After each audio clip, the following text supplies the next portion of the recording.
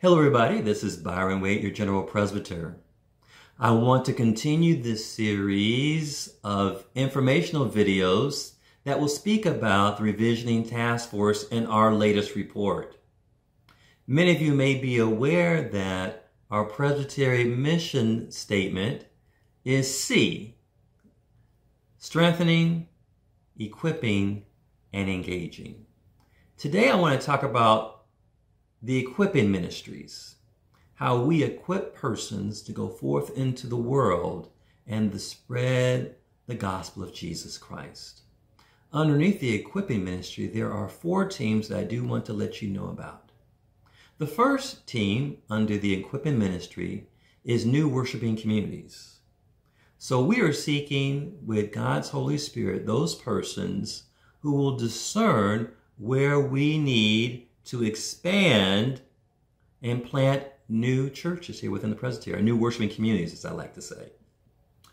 The second team is a brand new team, which is called the Digital Church.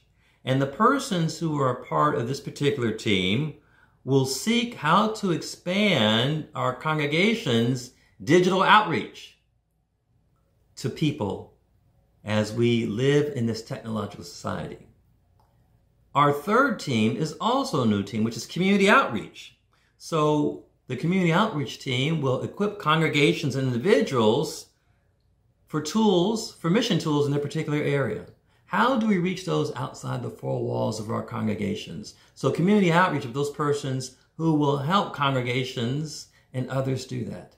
And our fourth team is peace and justice. You may be familiar with our Peace and Justice Committee, how they do a great work how they teach us the ways of Jesus Christ, how we are to be peacemakers, and how we are to work for justice and peace in different areas. You have seen that in a lot of ways here within this presbytery. As we talked about a little while ago, our campaign to reduce medical debt and other things that we have done. How can we continue to expand that as our call of being followers of Jesus Christ into the world of bringing peace and justice? So I hope that you have learned a little bit about what we as revisioning task force is envisioning for our new design.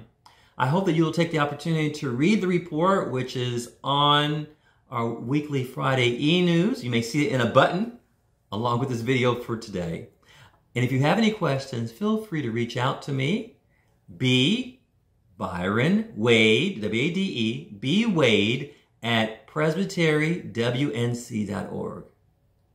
May God continue to bless you, and we ask you may keep us in our prayers as we, as a revisioning task force and Seoul Presbytery, discern our new design for ministry going forth.